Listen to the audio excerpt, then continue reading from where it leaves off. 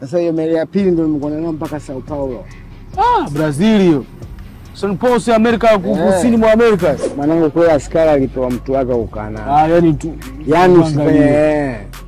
hiyo ilifikia mwenye sasa mtu wenye askari unamkamata mpaka watakaopigana naye. Sangarasia Msumbiji. Eh, Msumbiji yani katika mpaka Msumbiji na, na South Africa. Ndio. Abiria nyingi wengine wote mpo chini ya ulinzi. Sote tuko chini ya ulinzi. Baada ya pande ukaanza zoezi sasa kugonga. Kamba sasa hili nitakavyokuwa nimeshiba nitakuwa nitakashusha mzigo haraka. Ah, kwa sababu lile vile inani vibrate. Mwanangu mtambo sio mchezo. Kutokea pale Maputo anakupeleka sasa Pakistan. Mbanga Mbanga Mbanga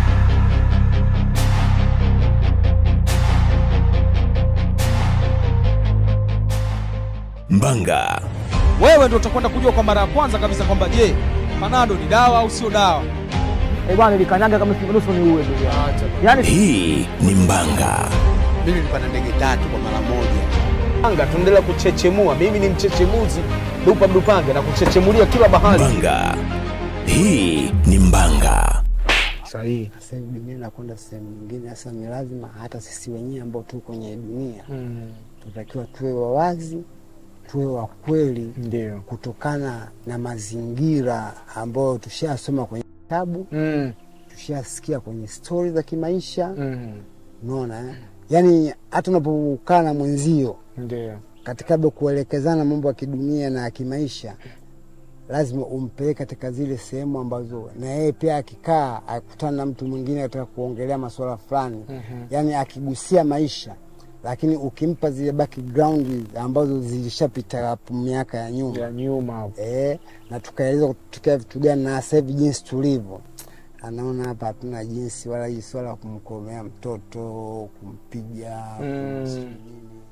inakuwa wala sio solution, kwa sababu haya mambo yametoa, yani yaishapangwa tangu na hiyo Adamu na hao wenyewe waishapanga katika Tangu katika huko kale. Eh, kwamba katika hivi vizazi tunaovizaa, lakini kitafikia kizazi cha karne fulani Itakuwa shida. itakuwa sasa. Wewe utakifa utakinyosha vipi kizazi kile ukiwa kama mwanadamu kupingana na uhalisia wa, wa, wa kimbingu e, wa kimbingu wenyewe? Mbingu wenyewe imeongea hivyo, mm. wewe kama binadamu utambadilisha vipi mwanadamu yule? hapo umeongea kweli kabisa. Sasa nini tunatakiwa tufanye vijana? Kwa sababu vijana sasa hivi ndio tunakumbana na mabalaa. Yaani vijana sasa hivi ndio maana unajua ni hatari, kwa sababu hata ukikaa kwenye vilinge vijiwe Mm. na hata ukiwa unasikia tu idea za watu sasa hizi, kwanza neno ndoa au tukiondoa watu wana, wanafanya kama vitu fulani vya kawaida, kumbe ni Yaani, kitu sensitive sana. Mtu anaolewa leo, anaolewa saa mbili asubuhi mpaka saa mbili asubuhi ya kesho, nakuta ndoa watu ishamalizika na watu hawana time tena, ushamaliza. Yaani mtu hata zile gharama za ile ndoa na harusi sijui mm. nini kitchen party ulizozifanya mtu kashazisahau na wala afikirii. Hmm. Mi nishaona mtu kaolewa asubuhi, yani jioni watu wanaachana, uwezi ukaamini. Alafu alooa aloacha wala afikirii zile gharama ambao kazitumia. Wameona asubuhi, Mama yangu nakwambia jioni pa shughuli kuisha. biashara imekwisha, biashara imekwisha. Alafu ilikwisha vipi? Jamaa alikuwa na mpenzi wake Mm. Kama hivi mimi nilivyokuwa na mpenzi wangu before then, mimi tangu tuko shule, Ndio, unaona bwana. ndio. Yule mtoto wa kiume akapata scholarship akaenda zake nje, Okay. akaenda kule akasoma nini nini, huku ana mpenzi wake, Ndio. anarudi zake Bongo, kapata kazi, mwanamke naye ka improve school, akapata naye scholarship, akarushwa na serikali Naye akaenda. kusoma. Mm.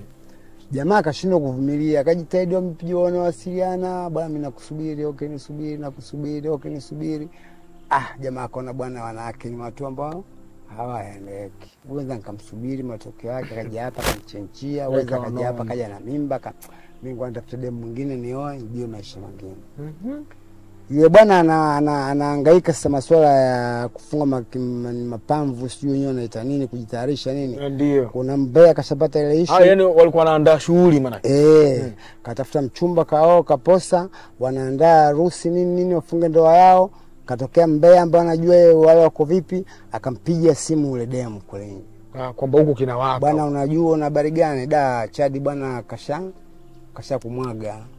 Chadi nimeongea naye jana kuhusu swala maisha yetu ya baadaye, tutaishi vipi? Nataka ni Chadi anakumwaga, mimi nakwambia je, kesho na yani kesho kama ikiwezekana nitakuishia clip ya harusi yao. Mm. Akaambia subiri, naomba ifuatilie harusi yao unilete, yani unipe full story itakavyokuwa Mm. and then ikiwezekana mimi siku hiyo ya harusi mimi niko hapo acha bana mimi niibuke Eh. Kweli mpambe katumiwa hela kanafuatia mpaka ile siku ya harusi, bwana, kesho sehemu fulani sehemu fulani, sijui Azania holi sijui Mhm, nini. mambo yanatokea Eh, dem kata tiketi kadondoka Bongo, sawa bwana, akatulia zake na kujijua yeye mwenyewe, watu wamejiandaa kila kitu fresh nini nini nini.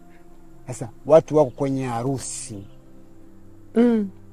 sawa Mm. yule mwanamke katika watu walipeleka zawadi, naye kapeleka zawadi yake kwa wale mke na mume anampelekea mshikaji yeah.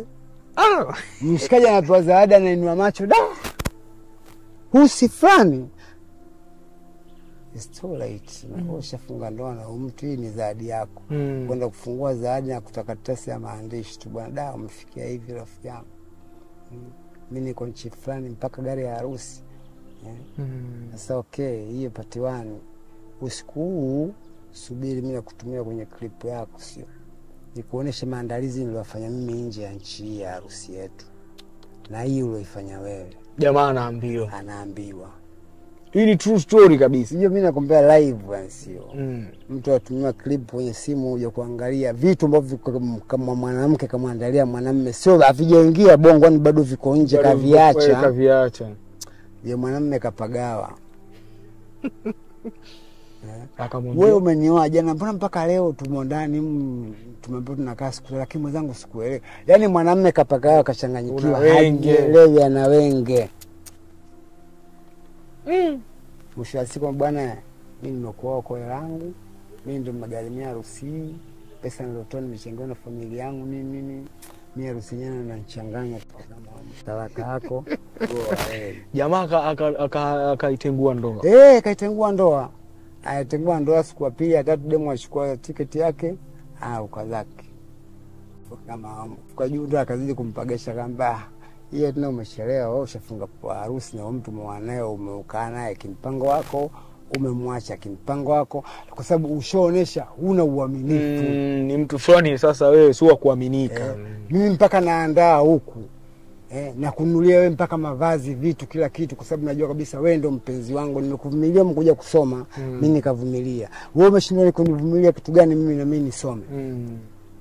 hivi? Mimi nikirudi nisha improve, wewe uko kazini na mimi nikukazini, si ndio tunaenjoy? tunafanya maisha vizuri Eh? Sasa wewe utaka mimi kwamba nikae tunakutegemea wewe unlishe univishe. Sasa huyo uliomwoa utajua wewe utajua na mwenyewe na mambo yako au kasharibu kule kasharibu mtu kapagawa mdogo wangu uweze ukaamini, alafu mtu ana hela yake. Sasa kwenye maisha vitu vyote vipo. Mm. ila vitu vingine vile vile vya kuangalia ni nini, ujue mambo mengine ni riski. na ndio. Unaona, ndio. Ujue unaweza ukafanya kitu wewe ukachukulia kwa kutoka ndani ya nafsi yako, lakini vile vitu sio ndani ya nafsi yako, mm. vile vitu vishakuwepo tangu enzi hizo. Ndio labda katika maisha yako ya ubinadamu Mwenyezi Mungu kashapanga huyu ataishi na huyu, huyu ataishi na huyu kwa muda fulani. mm.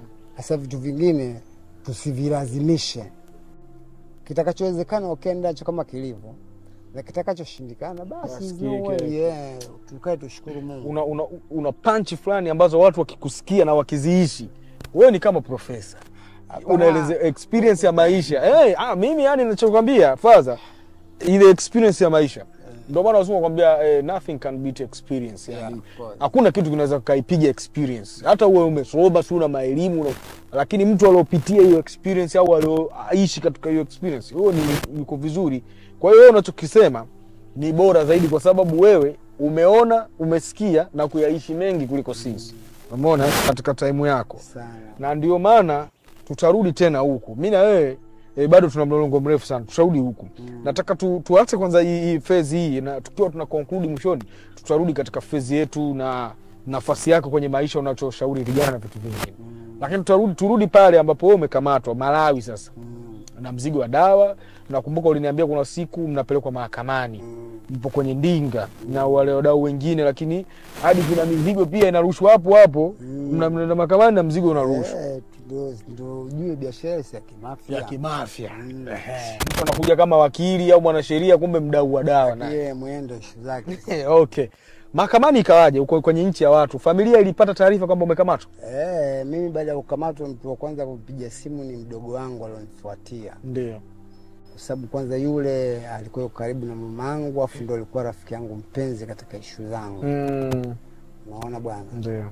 yule nikamwambia mfate mama, lakini amfate katika staili fulani, kwa sababu yule ni mama na ndio mama mzazi, japokuwa anajua ishu zetu Ndio. na pia anajua athari ya mambo yetu endapo unapokamatwa. Na kweli namshukuru Mungu, mama yangu ndo mtu mmoja kwanza alinihendo sana, akaambia da, ndo hivyo ilivyotokea, akaambia tulia, Mungu Mungu Okay. Na, Katika mawasiliano. Eh, kaza roho, omba Mwenyezi Mungu na sisi tuko pamoja na wewe, ngoja tuforce tujue nini tutakachokifanya. Mm. Sasa ujue sisi wasafiri tuna kampani, si baada ya tukio tukapiga simu viwanja tofauti, kwa sababu watu wengine wasipite njia Ah, wasije zoni ile imechafuka. Eh, pale tukashauriana bwana na watu wengine ambao wako nje, si tuko ndani. Sasa watu wa nje sasa Ndio. bwana, watu lazima apate advocate kutoka Italy, mtu fulani aende pale akasimamia ile kesi. Yule mtu ni mtundu na ni mbishi, afu ni mwongeaji mzuri wa lugha Kutoka Italy. e, na Wamalawi wanaongea Kiingereza kizuri sana. Yule bwana anaongea Kiingereza kizuri, ataelewana nao Ndio. sawa sawa. Kweli akashuka mtu pale, unaona bwana, kwa sababu situko watu watatu Ndio. wale wenzangu wana majenti na Mm. mzigo mimi ni wa kwangu, basi kuona hamna kitakachoharibika. Mm. Kwa jamaa akashuka pale, watu wakaanza kutengeza michongo. Ujue mambo ya maisha bwana, hela kama unavyosikia, hela ni sabuni ya roho, ni sehemu yote unaweza ukaosha roho yako unapokuwa na hela. Popote pale. Sikufichi mdogo wangu, Mm. si tumekamatwa na kazi pale, lakini uwezi ukuamini, tulitolewa ndani ya mikono ya polisi Mhm. tukapelekwa hoteli. Acha bana. Wallahi nakwambia kitu kilichobakia polisi ni document passport tu. Tukapewa siku tatu kwamba tufanye tunavyojua, kwamba hiyo mizigo kama tunao tutoe na tujue tutapa kina nani. Lakini wakati huo wale maaskari wa Malawi washachukua vidhibiti vyao tayari. Dawa zingine wamechukua. Yeah. Na nyinyi alikuwa anawaambia aliwatoa polisi ni nani sasa? Huyu aliotoka si Italy. mchongo tushaete kashakuja advocate pale kutoka Italy Mhm. kwa maana wakatengeza mchongo nje wakanunuliwa maaskari wale, mm. ni fresh kila kitu, watu wanajua si tuko gerezani, kumbe si tuko mahotelini Nimepoa na flash Mhm. Na flash mzigo. e, na kwa hiyo kwa tumia binadamu tukaflash baadhi ya mizigo nini fresh Mm. watu mizigo wakaenda wakauza, na ndio hela ambazo zimetusaidia kuja kutulipia faini pale. Ule ule mzigo tuokuja nao mwingine Mm. ndio tumeongezea na hela zetu, mtu akibaa kibako nyumbani milioni ishirini thelathini kuongeza pale, tukalipa faini, kwa sababu kama faini yangu mimi ilikuwa milioni mia na something, wale jamaa walikuwa na kuhukumu kutokana na mzigo waliokuta nao. Ah, kiwango cha mzigo uliobeba ndo hukumu yako inavyokuwa. walikuwa na kuhukumu. na mimi nilikuwa na karibu ni vitu vitatu Mm. Unaona bwana, wale maajenti tunachoshukuru, hii michongo yetu ya ajabu ajabu Mm. inakuwa ina ushirika mzuri. Aha, sasa pale mko hoteli mnakula burudani kama kawaida na mnauza mzigo mwingine na nini, hamkuhukumiwa kwenda jela? Ah, pale ujue, baada ya kesi kuisha, mm. kwa sababu baada ya kesi kuisha atakiwa lazima uhukumiwe. Ah, ah, kwa hiyo muda ule ambao nyinyi mlitolewa tu kwenye mikono ya polisi ni muda ambao kesi Yani, inaendelea. kesi inaendelea Ah, okay. Hmm. yani, yaani yani kipindi sisi tumetolewa pale polisi hmm. kupelekwa kwenda kufanya mambo yetu nje, hmm. ilikuwa ile kesi haijafika mahakamani, Ah, okay. iko ndani ya mikono Bado iko ndani ya polisi. Yaani yule yani ni mchongo wa sisi na polisi Okay.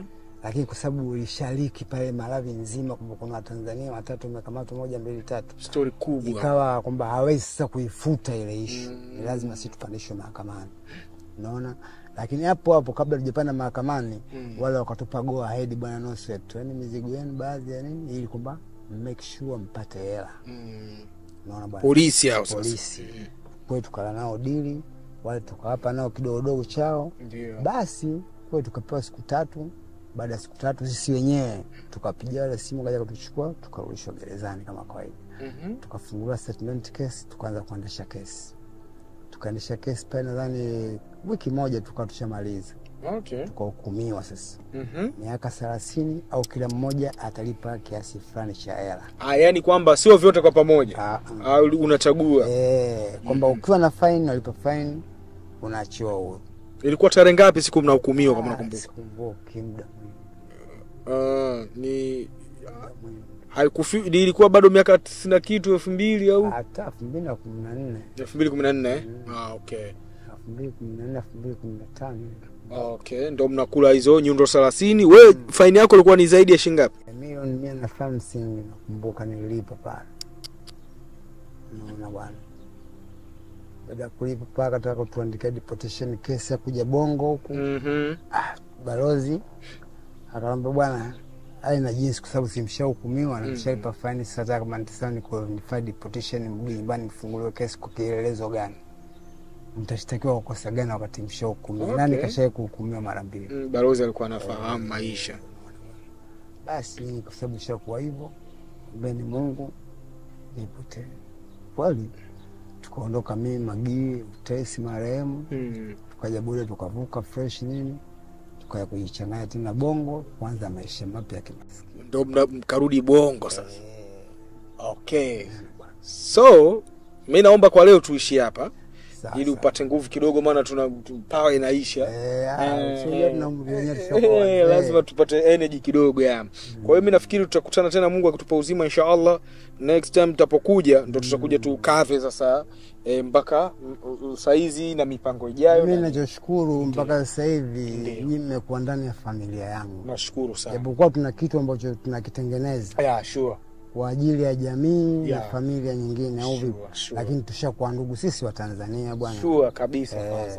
Kabisa. Kitu muhimu tu kwa sababu ushakuwa na contact namba yangu ushajua mtamtaa hata kama nitakuwa mzee simu kapoteza au mzee simpata kama nikienda mazingira Eh, fulani pale? mzee nitamnasa. Eh, sure father. Ili tu msijisahau mimi nembo na mimi nataka nitangaze. Eh, hiyo wewe ni familia yetu. E, yani wewe na sio tu leo wala kesho. Hiyo mpaka siku ya mwisho. Basi tumwombe hey. mwenyezi mungu atupe uhai. Kwenye huzuni kwenye Eh, furaha sana. tutashirikiana na tutakopa pamoja. Nje hata ya mambo haya mungu sana inshallah inshallah. Mimi nimejisikia vizuri umetupokea vizuri sana.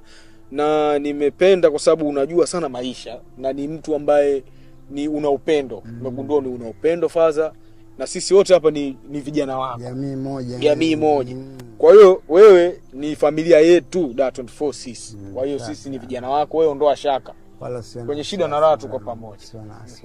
na kwa watanzania mimi niseme tu waendelee kushow love. We, kwa fadha wetu ana shida tuko vizuri. Kwa hiyo kwa mtu hata kama lanchi nini siku najisikia kupata lanchi na faza Eh, eh, unampigia bana eh. Bwana Eh, njoo eh, tule samaki chakula cha kibosi bwana. Si ndio wa Tanzania? Basi asante sana faza, nashukuru sana mwanangu. Asante sana. Nashukuru sana. Inshallah asante sana. Eh. Bwana mpaka wakati mwingine hii ni kabunyao brandi tunaendelea kupeperusha bendera ni watu ambao tunaendelea kuhubiri upendo. Kama tunavyoongea na fadha yangu hapa ni amani amani tu. Samee sahau yaliyopita ndo maana halisi ya neno hili kabu nyau, na ndo fadha anatusimulia kwamba amepitia mengi amelost a lot of money amepoteza utajiri mkubwa lakini hajakata tamaa. Mungu ndo anajua kesho yake. Tunasonga mbele na sisi tunaamini siku moja atasimama tena kwa furaha na atapata vitu vikubwa na ya kwa sababu mungu ndiye mgawaji wa riziki. Yeah, eh. na ndiye anatuandikia sisi eh, safari yetu mpaka tangu eh, wanasema nini? Kadari. Yeah. eh, kadari ya allah au sio bana ni makadirio yeah. ya mwenyezi mungu. Anajua tangu kuumbwa kwetu hata kuingia Kaburi. kaburini. Basi sisi ni nani? Hata tupinge. Sisi tunasema asante sana sharat kwa mgogo. Nyuma ya kamera amevaa vitu vya ajabu sana siwezi kuvionyesha tumbo lote liko hadharani. Kwa hiyo tunakaza moyo ni vitu ambavyo sharat sana kwa eh, festo lumwe makaveli eh, nyuma ya kamera au unaweza kumuita venga master. Yeye ni mtu wa kunywa juisi za tomato tu. Hizo zinapatikana italia tu eh, na kwenye migawa migawa mikubwa ya maeneo maldives. Eh, shout sana kwa mtu wa eh, forest pia eh, victor mlai. Yeye ni transporter huyu akikaa hapa na producer wa kipindi pia mimi ni dupa mdupange. Tucheki instagram kama dupa mdupange lakini tucheki dat24 eh, media kwenye instagram yetu facebook twitter na kote ambako tunakutana tunafanya mambo. Weka ujumbe wako chini. Fadha umempenda kwa asilimia ngapi? Unatamani ujifunze nini kwa fadha je unatamani awe menta wako? Awe anakuelekeza kuhusu maisha? Yupo. Mi nakuunganisha naye tu. Eh bana bye bye. Mpaka wakati mwingine. Bye. sasa hiyo meli ya pili ndio nimekuwa nayo mpaka sao paulo.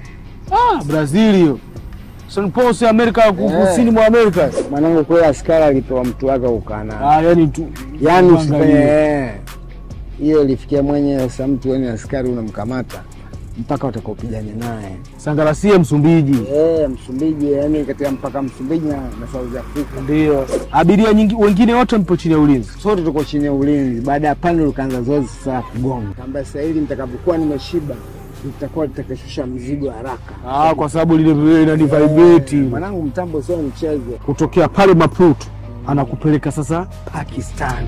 Mbanga, Mbanga, mbanga.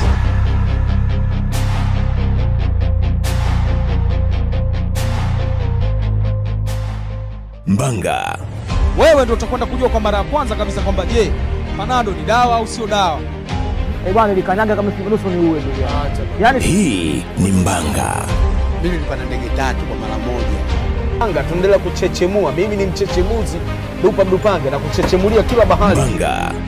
Hii ni Mbanga. Usisahau kusubscribe, kucomment, kulike na kushare ili kuwa wa kwanza kupata habari mbalimbali mbali kutoka Dar24 Media.